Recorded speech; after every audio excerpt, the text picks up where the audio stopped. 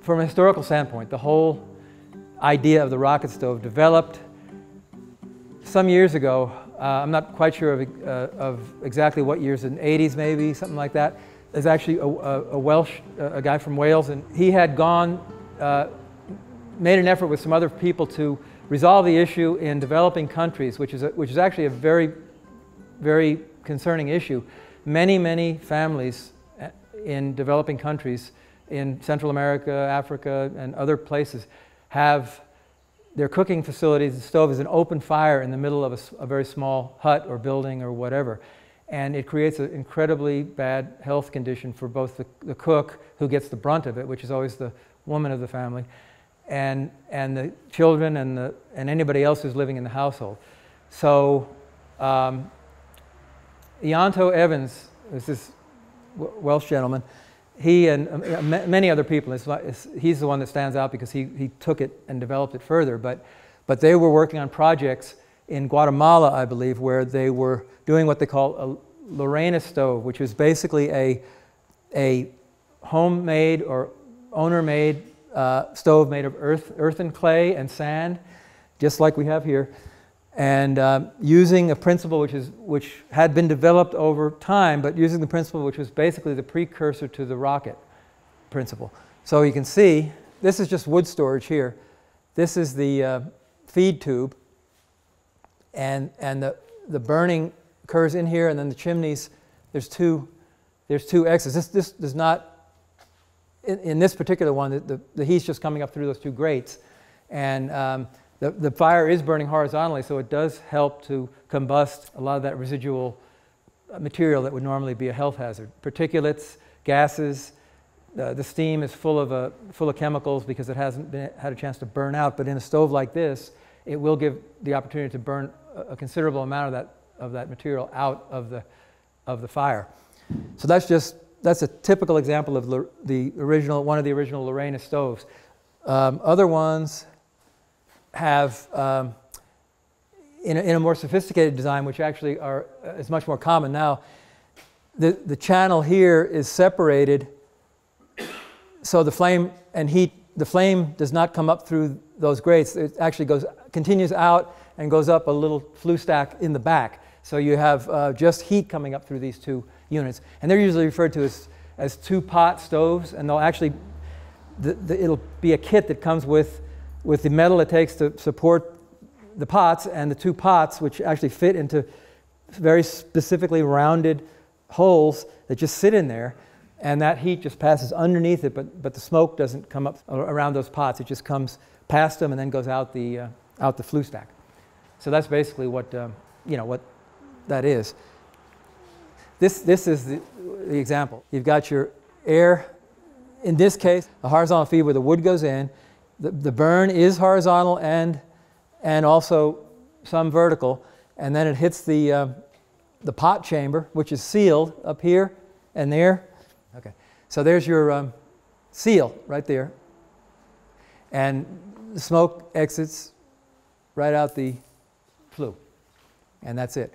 The mass of the stove also keeps uh, everything warm. I mean, that, that, will, that will stay, after the fire's out, that will stay warm for quite a while, actually physically warm around it to keep you comfortable in cooler weather. And it also keeps the pots warm uh, in the insulated area up there to um, you know, keep the food cooking. So it's, it's actually a very nice, compact, and much bigger improvement over just an open fire in, in a uh, house. So this is sort of an example, close to, but not exactly what will be, what the finished product will look like here. Probably not with the stonework in this area up here, maybe not, but you know, stone at the bottom and a lot of uh, cob around the, the back and the walls, you know, be about at least six inches thick in the back here and the side, and then there'll be a bench of maybe about knee height um, at this, about what, about what that is there, that concrete. So uh, that's basically what it looked like without all the accoutrements and whatever. But you can see the barrel or the bell is going to be located right in the middle of that pad there. This is uh, just a drawing, but I mean, this is basically, when you think, I want, I want to give you examples of different designs of, uh, of how a rocket mass heater can be designed and used. That's a nice little, small, compact, comfortable looking. Um, you know, it's a little tile inset around it. Uh, you know, it's a drawing, but still, that's a, that's a nice example of what people might think of as a, as a rocket mass heater. And it's very cozy. Um, this is also a, a, rocket heater. It's not a, ma- a, rocket mass heater, but it's a rocket heater.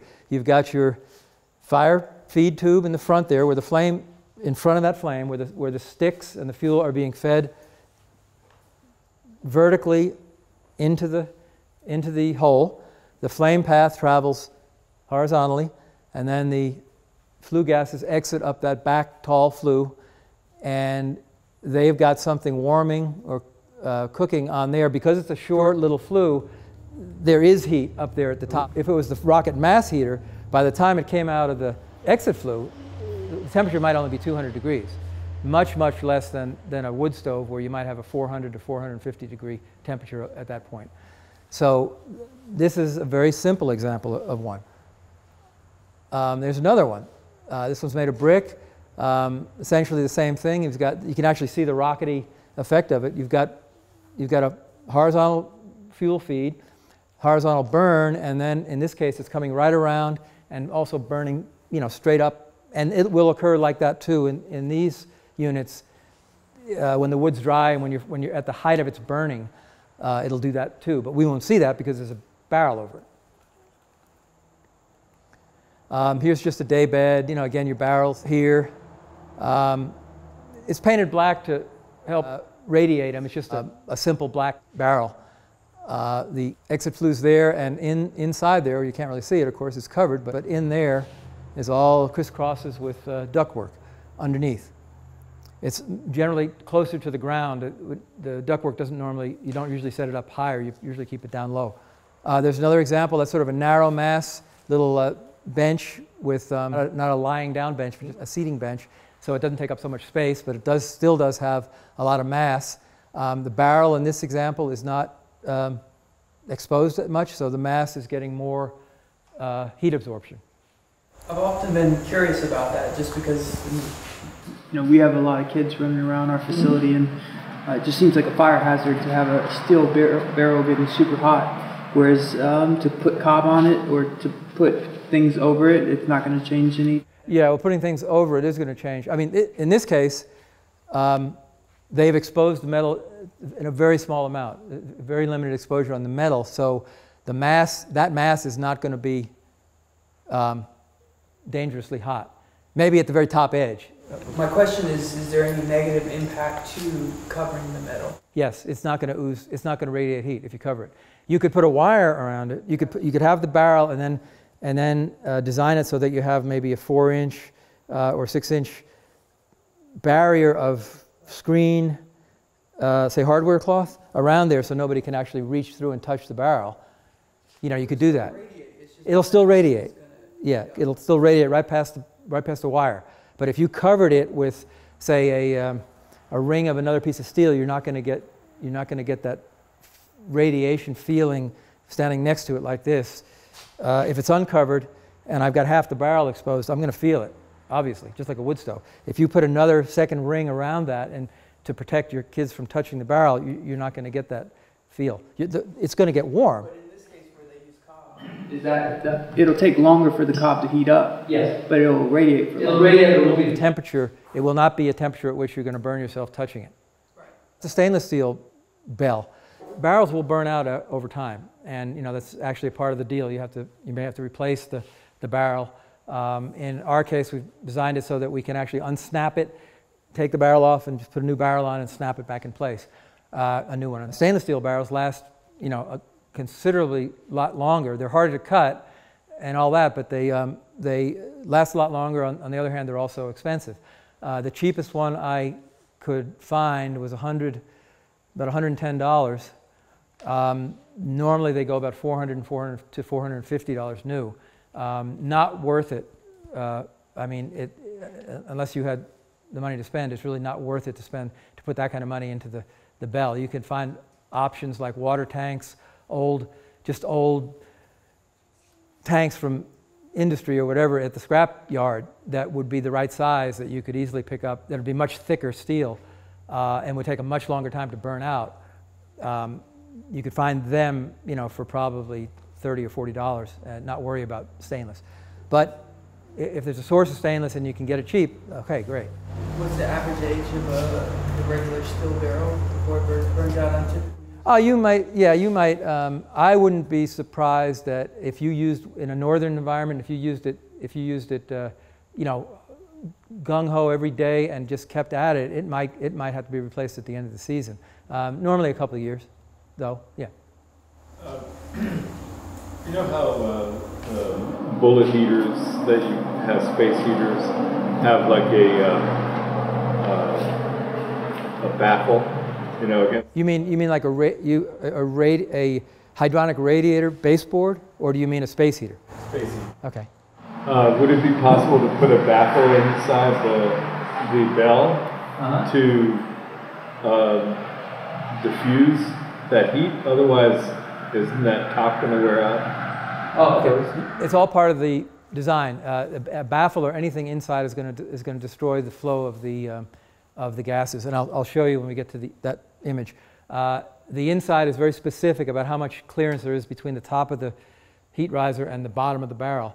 Um, with these snap with these snap lock barrels, it's very easy to. We don't even have to worry about the top of the barrel.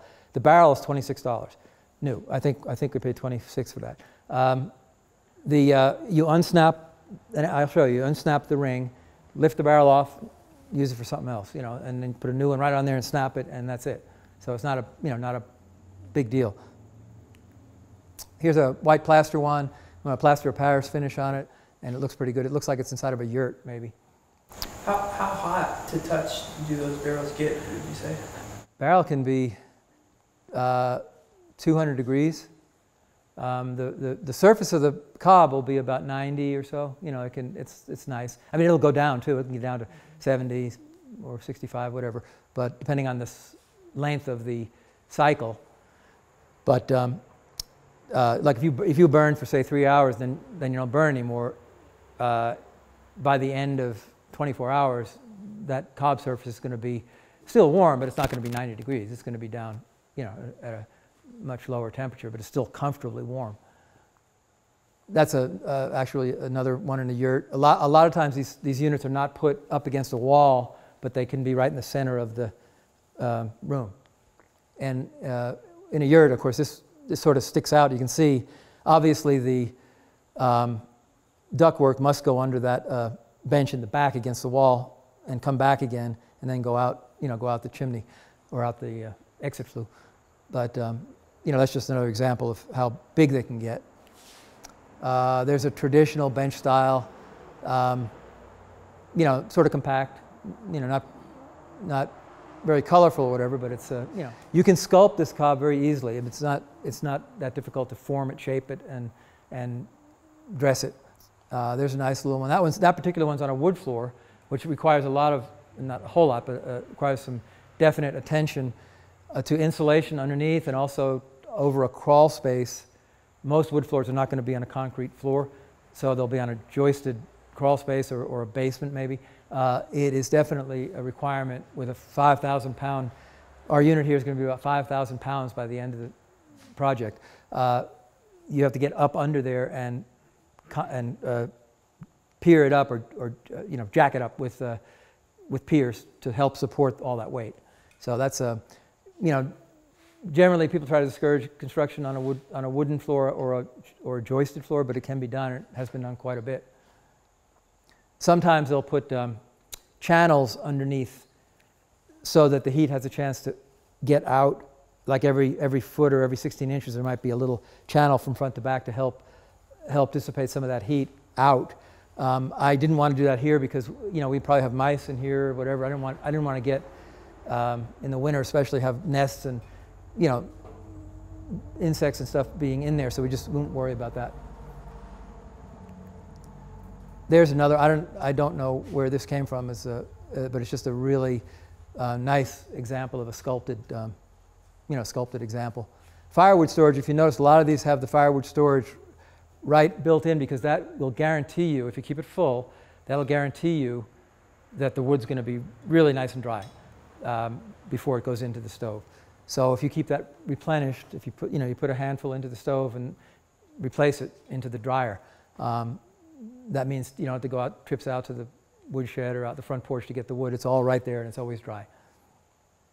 Uh, this is just a hot water heater. It's a UK, as a, uh, somewhere in England, uh, they call them geysers. They call a hot water heater a geyser. So the guy has built a, um, basically incorporated a rocket heater into his hot water cylinder, which is stainless steel, uh, and um, because of the heat involved, and he didn't want to have to disassemble it, you know, replace the metal all the time. The stainless steel will last, you know, a long, long time. So that's like a stainless steel barrel on top of the bell? Yeah, what, actually what it is, it's a, the flue goes through the center, and he's got, the top of the barrel part is right there. In other words, it goes up and, and, and the, it exits out there, and the whole thing's insulated. So he's uh, um, just heating his water with that, and it's out, you know, it's outside. So here's what I was trying to show you. The wood goes in. This is the, this is the uh, feed tube. This is the burn chamber. That's the heat riser. So, and then as the wood burns, it drops because it's, it's being stuck in vertically. It, it just, it burns and it sort of just settles into the hole. And as it burns, the, because the direction of burn is wanting to go out the heat riser, the flame actually occurs horizontally. And then, of course, some, you know, in, in the, at the height of the burning period, it'll, it'll come up, you know, up here too. But um, all the burn gases, the heat, and all the, the steam, has, all that's been pretty much burned as efficiently as it can.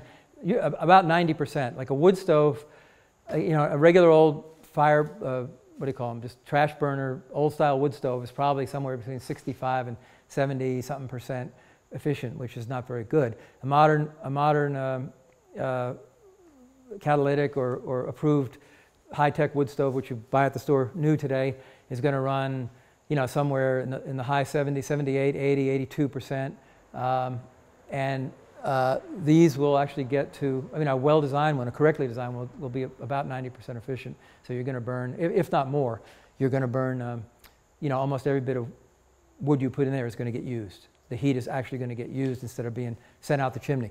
As I said, these temperatures, um, you know, the exit flue, the temperature might only be about 200 degrees out the top, and that's really not very much. Um, so the flame pattern, the heat pattern is, it goes up here like this, hits the top of that barrel, and that barrel is placed very specifically over a square or round heat riser so that you have clearance of about three inches around, all around the, the heat riser and about two to three inches at the top between, the, between that top of that heat riser and the, that steel barrel. So the path goes up, the hot gases go out, and then on, on its way out through the serpentine and out the, out the flue. So for that draft to get started rather than burning straight up. Is that all dependent on the space at the top there? Um, the space at the top is, is more, yeah, yes, that's part of it, but it's not the most important part. The closer to the heat riser that you put that barrel, the more effective the heating surface is going to be, like a cooking surface. So you got to think about this before you design it. Like we probably don't need a, a, good cooking surface on here. We'd probably be much happier with, with heat just oozing out the side of the barrel and, and you know, the top. When you put it down closer to two inches, then you've dedicated the top to a much hotter surface. When you lift it up, you're, you're spreading that heat around not only on the top surface, but around the outside too. And so you're stealing the heat that normally would be at the top and you're giving it to the, to the sides. That's when you pick it up. Sometimes people, before all the engineering was done and people actually have built you know, hundreds of these things, it was very common for people to actually build the unit in the house, open all the windows, um, and get a couple of people, start the fire going, and get a couple of people and get that bar- and put the barrel over the top of it and and just hold it with, with welder's gloves and just hold it until you could hear the rockety, it'll, it'll whoosh, you know, it'll be, it'll still burn, it'll be fine, but it'll, it'll burn and then you pick it up a little bit and it'll start to roar and then you pick it up all the way more, and it and it, the roar goes away. It's almost like tuning a radio, and you'll you'll get right to the sweet spot where you want it, and that's and that's where they set it, and they they'll uh, shim it, and it has to be level, and then put the mud, you know, then the fire let the fire burn out, and put the mud, put the mason uh, mud all around and seal everything up, and that's um, you know we don't need to do that anymore, but people still do it. Uh, uh, just because they want to hear that. They want to make sure they got it in the right spot. The other trick is you can also take the barrel, and in our case, I'll probably do that. The more space you give the bell or the barrel, the more space you give it uh, off center. In other words, instead of having, you know, two and three quarters inches evenly, exactly all around the, the heat riser, if you scoot that barrel over a little bit and give a majority of it to the side that you want the heat to go out of, that's, that's good. So you're, you're stealing it from the narrow side and adding it to the, to the wider side. And in this case, I, the, wi- we don't want it in the back. Nobody's going to be back there. We don't want to give all the heat to the wall. So we're going to aim it more uh, either that way or, you know, maybe probably like that, or maybe to the front. You know, it doesn't really matter. Um, probably more just towards, towards that way. And uh, so we just scoot the barrel over just a little bit because you, you, can't have, you can't have the no airflow. You don't want no airflow on the backside. It, uh, you, you really want airflow around the whole unit, but you, it's okay to cheat a little bit and shove, you know, uh, make it two inches on the backside and, you know, almost four inches on the front side.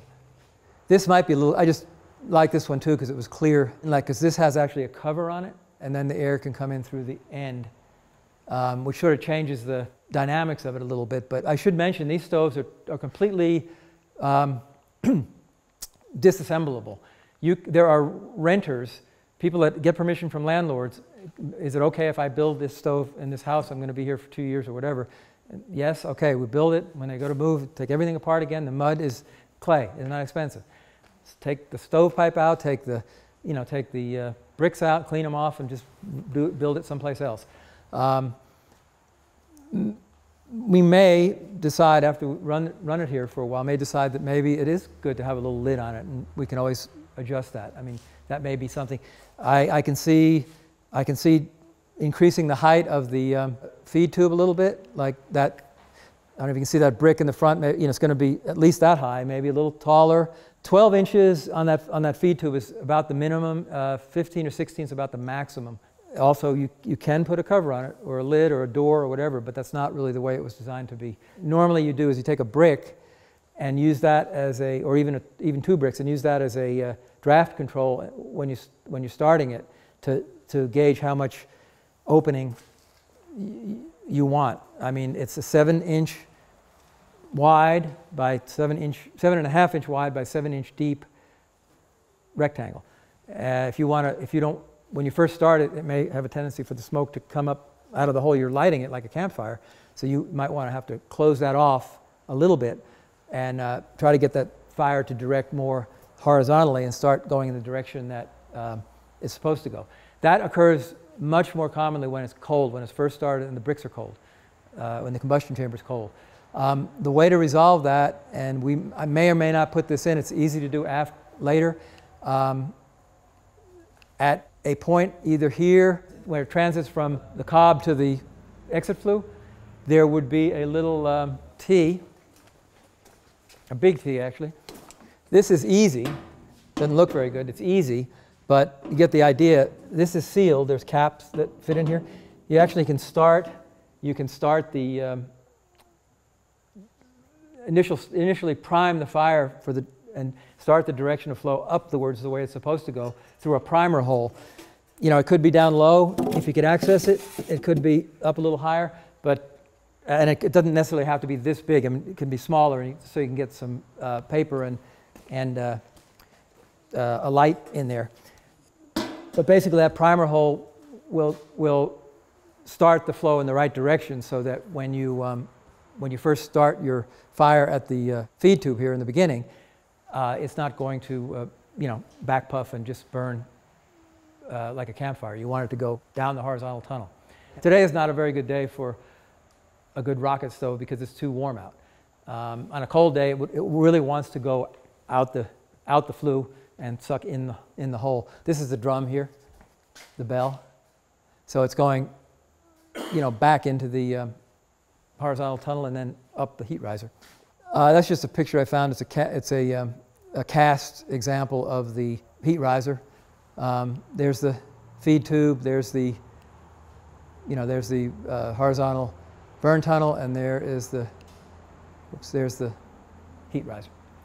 And then the barrel fits right over that. It doesn't have to be a barrel, by the way. It doesn't have to be that big of, of a barrel. Um, it can be a water tank. If you, if you take the cover off a water, the metal, sheet metal white cover off a water tank, an electric water heater, the, the tank in there is usually smaller. It's usually taller and narrower.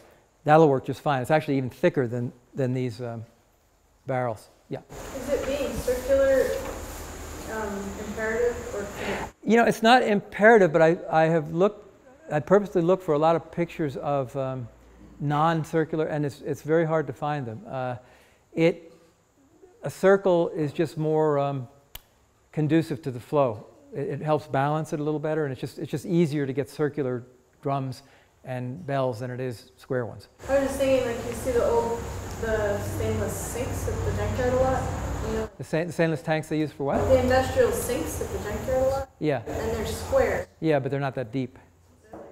Yeah, but they're not. That's, you need to have one that's like 48 inches. Now you could weld. You could probably get three of them and weld them together. Yeah, I mean that wouldn't. You know, not that it wouldn't work. It's just that I, I, I believe that it's just because the cylindrical barrels and drums are just so much more common. I mean, the inside will get. Uh, initially, in the original designs, the insides they always wanted them round because the barrel was round. But now, and that's that's a good example right there. It's a, it's a perfectly round. Um, you know, uh, mass. But you can also put more insulation. It may not be a perfect circle, but you can make it more or less a round shape by putting more insulation on the, on the flat parts, which we, we may do here, depending on how much you have. Um, Not name four sides? Could it just go down one side? it has to have four sides. You know, three of the four sides can be, one can be a lot bigger, and two can be less bigger, and one can be very small, but it has to have, it has to have four um, s- all around. It has to have, has to have access all around. It only comes out one side, but it has to be able to it has to be able to come down all around. That's just what you're seeing basically here. Um, just a uh, example of um, of setting up the the uh, ducting before piling on the mass. And uh, they said I use bricks here. We we had set it up before on Thursday. I use bricks, but we uh, they, you can use stone. I've got I think I've used up all my bricks, so probably have to use stone um, a good flat stone. It's not critical. It, they do have to turn. They do have to um, turn up. Uh, you know, they have to go from, from the start of the combustion chamber, from the actual exit at the bottom, what they call the manifold at the bottom of the bell. Uh, from that point on, the, the angle has to always be upward slightly. It doesn't have to be a, a, a, very um, radical angle, but it has to be up, you know, slightly pitched. Um, I just found something here, just a picture of a, of a small bench set up, which is sort of similar to what we're doing today here, but the, uh, but the, um, it's backwards. It's not, it's not backwards, it- it's, it's reversed. Uh, their, their drum and bell and everything is there, at, over there in that corner. And, uh, and they just have a two duct system. I, I wanted at least a three duct system, and even that's a little short, but we only have, we only have available this space. I mean, I really, I was originally going to build it over here, but where I, where it would have been much longer and would have had uh, a good 25 or 30 feet of run. But um, that's the same thing. There's the setup, and that's, that's it when it's finished. Um, you know, based on the size of the pipe, uh, six inch and eight inch pipe, and I'll, I'll, I'll explain it later. You sort of go backwards from, from 50 feet and, and subtract based on the number of turns. But I'll, I'll explain that. There are two books that I, there's, uh, in your handouts here, you have, you have a good source of uh, resources, a good list of resources, many online, and there's these two books. Um, I would, I mean, I, I have both of them. I'd recommend both of them. Um, both of them are good. One, this one is the original uh, Ianto's, um, and, and Leslie Jackson is a woman from uh, Oregon and, and San Francisco who does, who's helped with a lot of the book publishing and all this stuff, and building and building many, many, many uh, cob stoves and cob homes on the West Coast. This is more of a less of a scientific book. I mean, it's, it's, it's easier, it's, smaller, it's easier to read, it's more experiential maybe. Um, uh, it is grounded in a lot of experience in, um, in some of the earlier designs, and then this third edition includes you know more current pictures and more um, more experiences they've had in constructing. So it's a, it's a really good book. I don't remember. I think it's about 20 bucks. Um, but um, you know, it's a that's the one book, and then the other book is just came out. I think last uh, August, and it's the Rocket Mass Heater by uh, uh, Wisner's Erica and uh, Ernie Wisner. Um, they're also from, I think they're from Oregon. I'm not positive, but they uh, they have built hundreds, I believe, uh, hundreds and hundreds of these things in workshops and and professionally for people, and have done a lot of experimenting. I believe she may be a physicist or she has a good scientific background, but they this is a much more um, not just experiential, but also formulas and data and um, calculations you can do and examples of charts with, you know, if your burn hole is seven and a half by seven, then the ducting has to be, you know, this size, and you know, the, everything is, has been worked out. It's a bigger book. It's a more expensive book, um, but it's also a really good book. Uh, you know, if you, I would suggest if you're serious about it, I'd probably get both books, but um, you can also get a lot of information online. They happen to have uh, the Wisners, Ernie and Erica, have a their own website. I think it's called Erica and Ernie or Ernie and Erica. It's on, it's on the handout.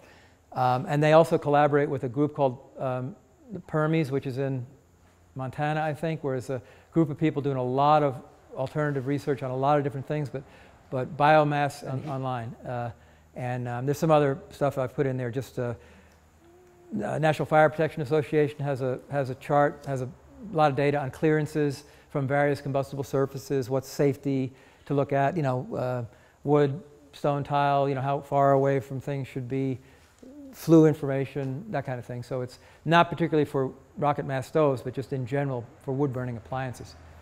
So, Uh, thermal mass, uh, electric generation, what do they call it, TEG or something like that? yeah, um, something like this just really doesn't get hot enough to do that.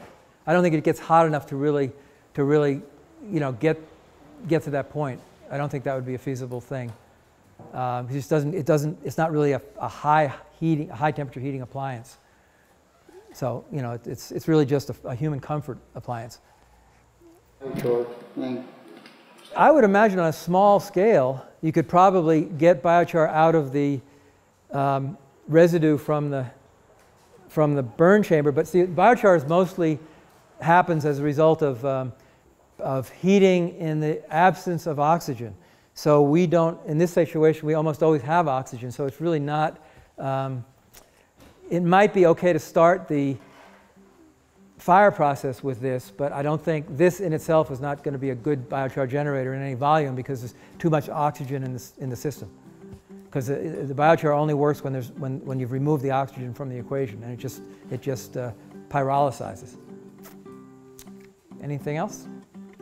No? Okay.